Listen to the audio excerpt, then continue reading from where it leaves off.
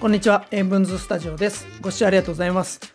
えー今日はですね、えーマイク、えー購入しましたので、えこちらのね、お話をしていきたいと思うんですけども、実はね、先日、えアップロードしました、えーと、ワイヤレスプロの、え動画があるんですけども、まあ、こちらね、えパンダスタジオさんでお借りして、えまあ、買おうかなと思っていたので、検証ね、いろいろ行って、まあ、動画もね、アップしたんですけど、その後ですね、あ、これダメだっていう決め手となる動画をちょっと発見しまして、でそちらを見てね、えーちょっとロードの、えーワイヤレスプロを買うのをやめて、えー今回ね、紹介するこちら、DJI さんの DJI Mic 2、えこちらを購入しましたので、こちらのね、方がいいよという、まあ、こちらの方がいいよって言うとおかしいですけども、え紹介をね、ちょっとしていきたいと思います。で最初にね今言ったみたいになんでね、えーロードのワイヤレスプロをやめたかって言いますとこれねちょっと動画で検索したやつがありますので概要欄にね貼っておきますけどもあの電波ですね DJI Mic 2と、えーロードのワイヤレスプロ、えこの2つをつけて、えー受信のねこの伝送距離をちょっとこう減少するみたいな動画があったんですけどもそれをねやったのを見た時にですね DJI の方は全然良かったんですけどもロードのワイヤレスプロこちらの断線がひどくてですねあこれはちょっと心配だなっていうふうに思いました。あの1回でもねそういうことが起きるとちょっとね、まあ、もちろん使い方っていうのもあると思うんですがあの同じね DJI とロード2つつけて同じ使い方をした時にこっちは良くてこっちはダメってなればですねやっぱりねいい方をねちょっと買いたいなっていうことで、えー DJI Mic 2にしました。でこれはですね僕の過去の経験から、まあ、断線によるね、トラブルっていうのを経験してますので、えー二度とね起こしたくないですし、まあ、そういったことがね起きないようにしたらどうするかっていうのをねするために今回のね動画なんかもこう検証で撮ってますので、まあ、これ本当に皆さんにね、えー今後ね運用していく上での参考になればいいかなと思います。で今日はですねマイクのお話していくんですけどもあの細かいね使い方の設定っていうのはちょっとやりません。えーいつもねこんなのばっかで申し訳ないんですけども、えーいろいろね YouTuber さんの方が、えご丁寧にこう使い方っていうのをね、えーやっていますのでそちらをちょっとご覧いただければと思います。じゃあ僕はですね何を話すかっていうとそう皆さんがね使い方いろいろやってくださってる中でこれねもう一歩踏み込んだお話しした方がいいんじゃないかなとか実際使ってみていやこれ本当やっぱり良かったよっていう話をちょっとしていきたいなと思います。じゃあ僕がね、えー購入したこの DJI Mic 2、えーこちらちょっと見ていきましょう。えーこんなね、感じのちっちゃいポーチがついていて、すべてね、入っていて、すごくいい感じになってますね。で、えーこの本体があります。本体じゃないですね。これは充電用のケースですね。こちらが付属しています。プラス中を開けるとレシーバーとトランスミッターが2つ入っています。えー僕はですね2波での収録を一応目的としましたので、え2個セットのものを最初から購入しました。自分の声だけね取れればいいよって方であれば別にあの2つ買わなくても1個だけっていうのも選択して購入できますので、えーそれでもいいかなと思います。で今回ですねこの DJI Mic 2にプラスして購入したアイテムがあります。それがこれです。まあ、こんなちっちゃいんですけども、これ何かっていうと、これ DJI Mic 2のカメラアダプターって言います。これをカメラ本体に取り付けて使うと、24ビットで収録することができます。これはね、ちょっとソニーのカメラに限られてしまうので、まあ、他のね、メーカーの方にはちょっと使えないんですけども、僕はね、ソニーのメーカー使ってますので、これはもう必須として買いました。じゃあこれがないとどうかっていうと、えーこのねレシーバーをですねカメラに取り付けて 3.5mm のピンジャックでマイク入力に入れてましてでカメラの中で収録するんですがその場合って16ビットで収録になります。でこちらをね取り付けることによって24ビット変換されますのでカメラ内ですけども24ビットのデジタル収録が可能となります。やっぱりね音のこの編集後でねノイズを取ったりとか調整したりするときは24ビット32ビットって上にいろいろありますけどもなるべくね、えより解像度の高い音で撮っておいた方が、まあ、劣化も少なくて、まあ、調整もしやすいのでそういう意味ではですねこの24ビット収録ができるっていうのはすごくありがたくて、まあ、あの実際のね仕事の現現場で使うっていう場合はえこれがあるとないじゃえ結構違うかなと思ってえ僕は買いました。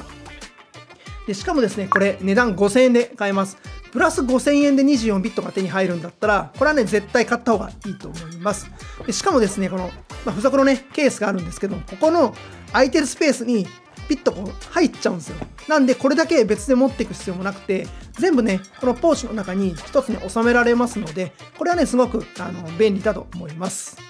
じゃ次はね、えー、実際にマイク、え、操作してみて、えー、まあ、良かったところ、まあ、こんなところが例えばロードのねワイヤレスプロとは違いましたよっていうところをお話ししていきます。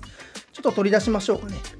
これ、えー、レシーバーになります。すごい小型なので、えちょっとしたねカメラにね載せたとしても、え重さが増したみたいなことはまずないですね。それで、えこちらのね、え DJI Mic 2と、まあ、ワイヤレスプロとちょっと比べてしまうんですが、まあ、何がいいかって言いますとこのレシーバーの中でマイクの設定を全て調整することができますし、え実際に、ね、収録している時にはここのね設定が表示されますので、え状態をねモニタリングすることができます。で最初はですね僕ワイヤレスプロもいいなと思ってたんですよ。でワイヤレスプロの場合はですねまあパソコンで全て設定した後に実際にね使うっていう形であの本体の方では調整っていうのはあんまりできないんですよね、まあ、ただ、まあ、収録する前に設定しておけば問題ないなと思ってたので、まあ、ワイヤレスプロを最初は買おうかなと思ってたんですけども、まあ、実際ねこっち使ってみるとレシーバー本体で操作できた方がいいですし設定のね状態っていうのがすぐね分かるような方がもう安心です。もう収録してて。なので僕はここはねちょっとポイント1として DJI Mic 2をちょっと押したいと思います。で、あとこのケースですね。こちらね、充電のケースになっています。えこちらはですね、ちょっとロードの、えワイヤレスプロと比べて違うんですけども、えワイヤレスプロの方は、このケースに全部収めるとですね、ここの USB-C 端子で、え PC につなげると、えここで全てのファイルを一括で、えストー受信できたりとか、え、設定をね、変更したりすることができます。それがね、すごく便利だなと思ってました。で、DJI Mic 2は、これあくまで充電のケースなので、まあ、そういったことはできずにですね、えー、このねデータを取り出す場合はそれぞれのトランスミッターを PC とつなげて取る必要があります。なので一手間かかるんですけどもまあとはいえねその程度なので、えー、他のところのメリットを考えたらですねまあ特にね苦にはならないかなと思いました。じゃあここからはですねちょっと実際に触っていって、えー、お話をねしていきたいと思います、えー、まずはですねこれケース開きます。これちょっと見てもらうと分かるんですけどももう開いた段階でですね、充電の状況が一発で分かります。しかもですね、トランスミッター見てもらうと、えー、今ね、こっちの1のマイク、2のマイクってあるんですけども、残り何時間取れますよっていうのがしっかり数字で出ています。これはですね、えー、やっぱりね、目視でちゃんと確認できるっていうのは、すごくありがたいことになってると思います。これね、バッテリーのメモリマークだけだと、実際何時間取れるかってわからないので、まあ、この点はね、もうちょっと DJI マイク2素晴らしいなと思います。実際にね、ちょっとカメラに取り付けてみて、中をね、見ながら、ここがね、いいんだよっていうところをお話ししていきたいと思います。それでは、えー、今ねカメラの方に、えー、レシーバーを取り付けましたので画面見ていきましょう、えー、インターフェースはねこんな感じです、え入力されてる音もですねこうバーみたいな感じで、えしっかりね表示されていてとても見やすいですね。じゃあね僕がねちょっと押していきたいこの機能というかねここいいですよっていうところちょっとお話ししていきたいと思います。まずですね今これデフォルトの状態ですね。じゃあこの状態で、えマイクをねオンにしてみましょう。はい、えー、分かりましたでしょうか、えー、今 R 側が赤いフレームがつきましたよね。じゃあもう一方もオンにしてみましょう。はい、えー、分かりましたでしょうか？今 L、R ともにですね赤い枠が入っています。これは何かというとレック中という表示ですね、えー、撮影してる時っていろんなところに気を使っていていろんなところを見ているのでちょっとでもね簡潔にねこう一発で分かるようなねところにしたいんですよ。で、そういったところでこれ見ると、もう赤いマークが大きくついてるので、一目瞭然ですよね。録音のね、レック押し忘れミスみたいなのをすごく、えー、減らすことができますので、本当に表示してくれてるっていうのはありがたい、えー、機能ですね。で、さらにですね、これちょっと触っていきますね。この画面の左端、これ上にスワイプすると L 側の、え、マイクの設定になります。今見るとレックって赤く光ってますよね。ここ押すとですね、赤枠消えましたよね。レックを停止することができます。R 側も同じですね。R 側は右半分のところをですね、上にスワイプすると、マイクの2番目の設定になります。この赤いレックを止めると、はい、これでね、赤枠両方消えました。ってことはマイクが停止したということになります。レシーバー側でもね、この録音のオンオフのね、え操作ができるっていうのはすごくありがたいです。やばい、録音し忘れたなんてこともなくはないじゃないですか。っていう時にここ見て、やべ、赤いレックがついてない。やべやべレックしなきゃっていう時にこうピッピッピッと触ってレックってこっちから持つと赤枠がつくのでマイクをね演者に取り付けた後でもですねレックをスタートすることができます。この視界性の良さと操作性の良さからして僕は DJI マイク2を押したいと思います。で次にね、押したいところはですね、このレシーバーの中にはですね、えっと、カメラに対する音の原因のプリセットっていうのが入ってます。これをね、カメラごとに設定できるようになってますので、それを選んでいただくと、原因のね、出力どのくらいしなきゃいけないのかなっていうのを手動でね、調整する必要がありません。じゃあちょっとやってみましょう。えまずこの画面をね、下にスワイプすると設定、レシーバーの設定ですね。でこの中に推奨カメラの設定というのがあります。でこれをね、押すと、中からね、その使ってるカメラを選んでいただくと、えー、いろいろね、このプリセットというのが選べるんですけども、じゃあこれね、何が変わるかっていうのを皆さんあんまり言ってないと思うんですけども、この隣に、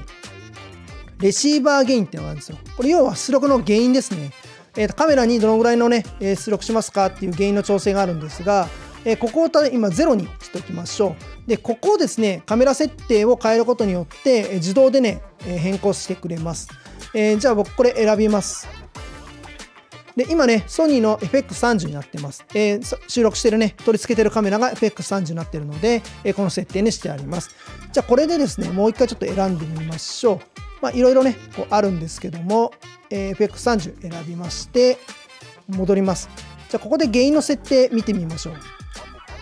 はい。わかりますかね？さっき0にしてあったと思うんですけども、プラス9となっています。つまり、FX30 にはプラス9の原因にするとベストな状態で出力がね、することができますというような設定になっています。なので、これを使えばですね、えあんまりね、ちょっと原因の調整大変だなとか、時間かかるなっていうところの、ま時間の短縮にもなりますし、え知識のね、ない方でも、えトラブルのない収録っていうのができるんじゃないかなと思います。えー、先ほどね、えー、僕が最初に、お話ししました別でね、購入したという24ビットで収録できるアダプターですね。えこちらをですね、えこのカメラ本体のホットシュにつないで、このレシーバーを使った場合はですね、レシーバー本体で原因の調整を行えば、カメラの方はですね、原因の調整いらないですね。なので、どのぐらいの入力で、えー、音をね、取りますかっていう設定を通常するんですけども、えその収録のね、設定をする必要もないので、え一石二鳥というような感じになります。えこれは通常はですね 3.5mm のピンジャックをつないでカメラに入力する場合はレシーバーの設定とカメラの設定両方しなきゃいけないんですけども24ビットのデジタル収録する場合はレシーバー側の設定でカメラの方もそのまま収録される形になりますのでオペレーションとしては一手間減りますしより綺麗な音で簡単に撮れるということでソニーのカメラをね持ってる方はぜひねこの24ビットで収録できるアダプターは5000円でね購入できますのでセットでご購入をお考えした方が全然いいと思います。で最後にですね、えーと、本当にこれ注意してほしいところが1個ありましてこれね僕購入するまで気づかなくてこれあそうなんだっていうのがありましたこれねあんまりサイトとか皆様あんまり言ってないことなのでこれ結構重要なことなんですけどもこのね DJI Mic 2のこのレシーバーですけどもこれ後ろ側って、まあ、コールドシューにねこう取り付けられるような形状になっています。なので、えどこにでもね、えコールドシューがあれば取り付けられるんじゃないかって、まあ、僕も思ってました。実際ですね、確かにつくんですけどもこれ大事なことありましてこれ裏ですね固定されるような機構になってないんですよ。えどういうこと？これやってみるしかないですよね。ここに、まあ、ホットシュのねカメラのところがあります。でこっちにねリグのところにもコールド種がね取り付けられる形状のねメスの部分があります。まあこういうとこにねこうやって取り付けたいよって思うじゃないですか。普通はね。特にねリグなんて組んでる方だったらここのねカメラのホットシュっていうのはなかなか使えないような状態になってると思いますので別のところに取り付けたいよっていうのが本当だと思うんですがこれね本体に締め付ける機構がないので分かります？スコスコなんですよ。固定できないんですね。なのでえー、っとこういう感じで定点で取る場合は、まあ、ここにはめ込んでこうやってね止めておいたとしても、まあ、別に問題はないと思うんですが動き回ってね使う場合はさすがにこれ落ちてしまいますので絶対こういう風に使うことできないので、えー、買う時にねこういう風に使うつもりでいるんだったら注意してください。じゃあどこに取り付けるんだっていうとこのカメラ本体のこのホットシューのとこですねこうぴったりはまって取れないようになります。つまりですねもう簡潔に言うとこうカメラ本体のホットシューに取り付けて使う取り付け方しかできないっていうことですね。えこれをこういう風にして使う。まあ本当やっぱ Vlog とかをね、え想定して作られてるんだなっていうのが分かりましたけども、これがですね、あのロードのね、ワイヤレスプロとかだったらこうクリップ式になってるので、こういうね、コールドシューの、えー、メスのところにパチッてこうはめたりして止めることできるんですけども、これはできませんので、えー、注意してください。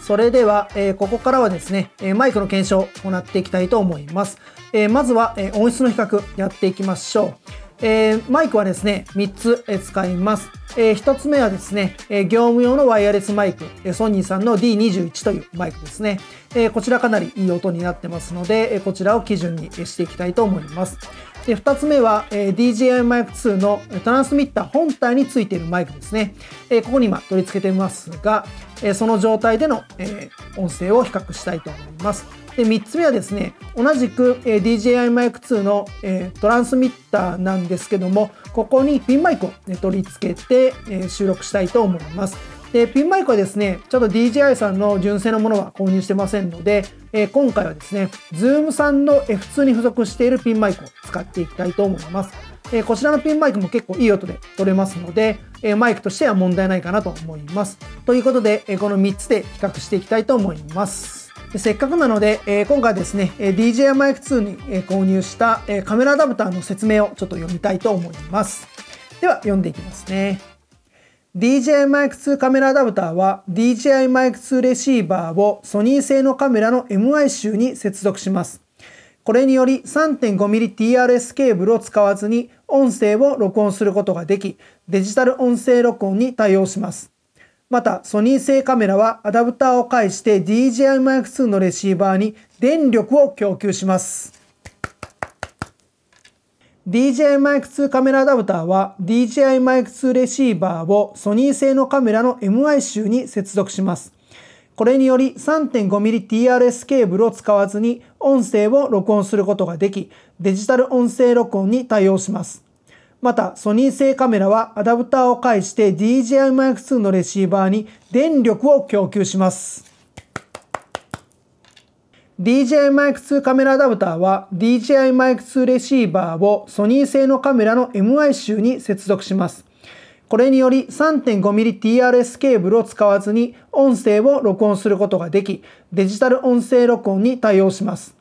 また、ソニー製カメラはアダプターを介して DJI Mic 2のレシーバーに電力を供給します。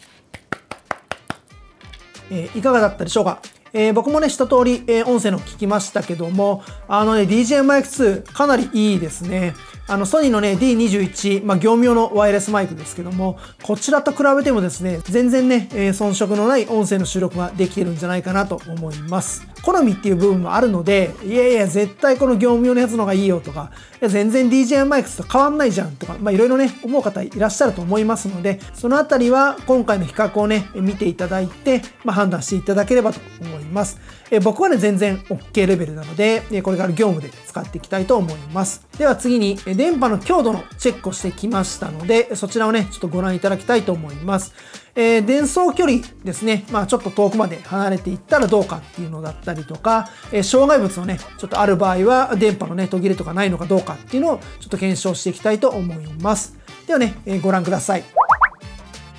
では、え遠距離による電波の強度テストを行いたいと思います。え今外にやってきましたので、えこのままね、え後ろの方に歩いていってみて、えどのぐらいの距離までちゃんとね、電波を拾えるかっていうのを確認していきたいと思います。で、確認の方法ですけども、2つやりたいと思います。まずは、えここにね、マイクつけてますけども、この状態で、そのまま向こうに歩いていった時に、どういうふうにね、ちゃんと電波が届くかっていうのを見ていきたいと思います。えこの時はですね、レシーバーとトランスミッターの間に僕の体が間に入ってますので、まあ、電波はね、直接、え直線で繋がってない状態での、え検証になります。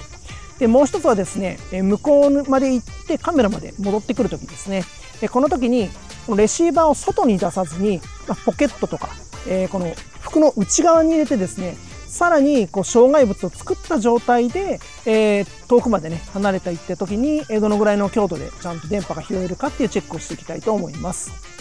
ではね、早速ですけども、えー、このままね、歩いてちょっと行ってみたいと思います。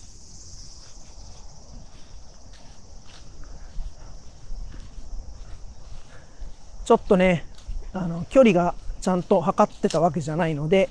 えー、どのぐらいの距離感かっていうのが分かりませんが、えー、音声どうでしょうか。今日ね、しかも風結構強いので、えー、ファーをね、つけてます。えこれもね、含めて、え一緒に確認できれば、あ、一石二鳥かなと思います。ちょっと振り向きますね。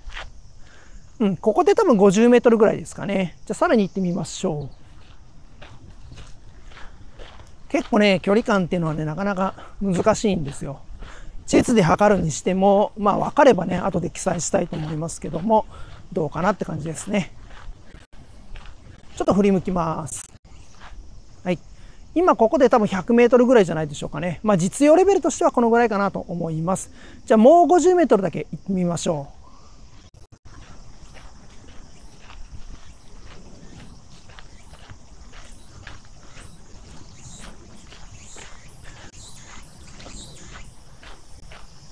どうでしょうか、えー、今結構離れてきましたが、喋ってないとね、レーパー途切れたりとかわかんないんで、ダメですね。今ここで多分150メートルぐらい離れてると思います。まあ100メートル以上は必ずあると思いますので、え、実用レベルとしては、え、いい現象かなと思います。ではですね、え、今度は、えマイクをですね、服の内側に入れて、え話していきたいと思います。はい。今ね、え服の内側にマイクを取り付けました。えっ、ー、と、この状態でですね、カメラに向かって、えー、歩いていきたいと思います。はい、今歩き出しました。えー、どうでしょうか。まあ、音はね、ちょっともふもふもついてるし、えー、服の内側なので、えー、いい音質で撮れるかどうかっていうのはわからないんですけども、えー、そのあたりもね、チェックしていただけたらと思います。今だいたい100メートルぐらいかな。50メートル以内以上はあると思いますけども、さらに歩いていきたいと思います。はい、えー、だいたい今50メートルぐらいに来たのではないでしょうか。さらに近づいていきます。まあ、ここまで来ればですね、えー、かなり射程圏内ではないかと思います。もう十分ですね。今30メートルぐらいですかね。まあ、ここまで来たら大丈夫ですね、さすがに。まあ、大丈夫かどうかっていうのはちょっとわかんないんですけども、え過去にね、え僕も断線した経験があるので、それもね、踏まえてしっかりちょっと見ていきたいなと思っています。はい。えー、カメラの前まで戻ってきました。えー、どうでしょうか。えー、見てわかる通り、えマイクをね、服の内側のところにつけた状態で、え収録をしています。音声途切れあったでしょうか後から皆さんと一緒に見てみたいと思います。では、えー、と3つ目、え、検証していきたいと思います。えー、とこの距離感ですね、だいたいカメラまで1メートルぐらいのとこなんですけども、この状態で、え、マイクをですね、レシーバー本体をポケットに入れて、で、ピンマイクをつけてですね、その状態でちゃんと音声を拾えるかっていう確認をしていきたいと思います。えー、なんでね、これをやるかっていうと、近いんだから大丈夫でしょうって思うかと思うんですけど、実は昔ですね、えー、ロードのワイヤレス号を使った時に、この距離感でポケットに入れて収録したらですね、断線しまくってたっていう経験をしたことあるんですよ。あの時はね、本当に参ったなと思って、後からね、撮り直しをお願いしたことがあるんですけど、そんなことがね、ちょっと二度とないようにしたいと思いますので、えこのね、DJI Mic 2っていうのはどういう感じか、まあ、問題ないかどうかってわかんないんですけども、え、必ずね、ちょっとやっておきたい検証の一つだなと思っています。ではね、ちょっと準備してやっていきます。はい、えー、セッティングできましたのでやっていきましょう。え、今ね、ピンマイクつけてます。で、ワイヤレスマイクをですね、ポケットに入れています。しかも、後ろポケットの中の奥の深いところに入れていますので、かなりね、えー、このね、レシーバーと、え、トランスミッターの間っていうのは障害物だらけになってるんじゃないかなと思います。さらにちょっと体をひねって妨害もね、するものをたくさん作っていきましょう。はい。どうでしょうか？これでもう体のところでかなり遮っているので、本来ね、この 2.4GHz っていうのはこういうのにすごく弱いので、まあダメだと思うんですけども、これもね、あの、ダメならダメでいいんですよ。ダメだって分かった場合はですね、このダメな使い方ってのをしなければいい話なので、何が良くて何がダメなのかっていうのをはっきりさせるっていうのが、この検証を行ってる最大の理由ですね。まあこれね、あの長時間やったから、まあ変わるかって言われると、まあそうでもないような気がするので、えー、この辺りでね、特に問題がなければ、あちゃんとね、えー、結構昔僕が使ってたワイヤレス号に比べてですね、え、電波の方はすごく強くね、良くなっているっていうことになると思います。ではですね、えー、とまた障害物のテストを行いたいと思います。今からですね、えー、僕今カメラの後ろに立ってますけども、えー、この後ね車の中に入ってえー、電波がね途切れないかどうかの確認をしていきます、え、カメラから、え、車までですねだいたい67メートルぐらい離れています、まあ、そこそこの距離離れてますので、えー、この状態でね電波の途切れがないかっていうのを確認していきます。ではね、え、中入ってきますのでチェックしてみましょう。はい、えー、音声今のとこ入ってますでしょうか？大丈夫でしょうかね？ではね運転席の方入っていきたいと思います。はい今運転席入ってはい、えー、今ね、ドアを閉めました。えー、どうでしょうか？ちょっとエアコン入ってるのでね、音はちょっとうるさいかもしれないんですが、えー、いかがでしょうか？電波の途切れないでしょうか、えー、僕がね、今助手席に乗っているっていうのわかるかなと思います。まあ、機器にね、あの電子機器、今エンジンかけてるので、電子機器も全開ですし、えー、ガラスも間に入ってますので、えー、直線でね、レシーバーが見えると言ってもですね、それでも障害物っていうのはいっぱいありますので、え、これでね、電波が問題なく届けば、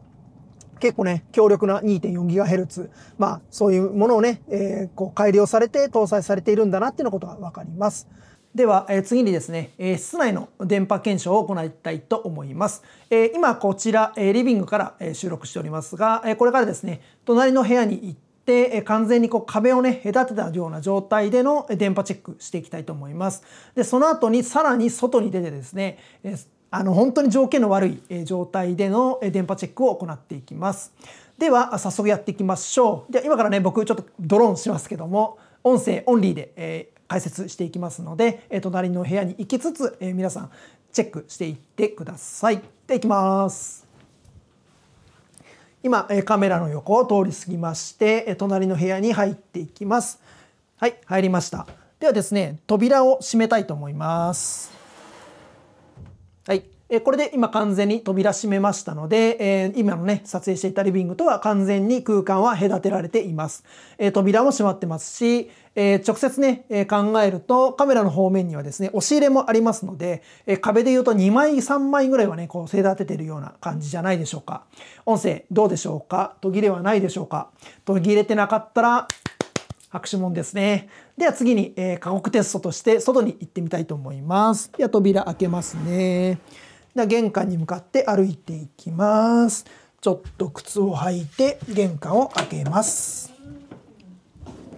はい、今ね玄関を出まして扉を閉めました。えこれでもねこれ玄関鉄の扉なので、えー、普通のね木のね扉とは違ってかなりね隔てる障害物としては、えー、あんまりいいものではないと思います。ではこのまま外に離れていきまして、え今ねえアパートの、えちょっとしたね、まあ、お庭みたいなところに来ました、えここはね完全に、え遮断されるものがたくさんありまして、まあ、家の壁もそうですしガラス押し入れさらにもう一部屋挟んでますので、え相当ね、え距離が空いてると思います、えこの状態でね綺麗に撮れていたらこのねマイクかなり優秀だと思います。まあ必ずね、えーモニタリングはしてほしいと思いますけどもあのある程度ね信用してもいいんじゃないかなと、えー、僕は思います。えー、このまま歩いていってえカメラの前に帰ってきましたという感じですね。えー、どうだったでしょうか？えー、僕はねモニタリングしながら、えー、行うことはねできませんので、えー、どうだったかっていうのは皆さんと一緒にこちらもね検証していきたいと思います。いかがだったでしょうか、えー、僕も一通り見ましたけどもまずはやっぱり伝送距離ですね。えー、遠くまでね電波が飛ぶのはすごくいいことなんですけども、えーと、カメラのねレシーバーとトランスミッターの間に体がね挟まれてしまうだけであそこまで電波が途切れるとは思いませんでした。なので今後の運用はねちょっと気をつけていきたいなと思います。実際にねこう体をカメラ側に向けた時はね全然問題なかったので、まあ、そこがねちょっと注意かなと思います。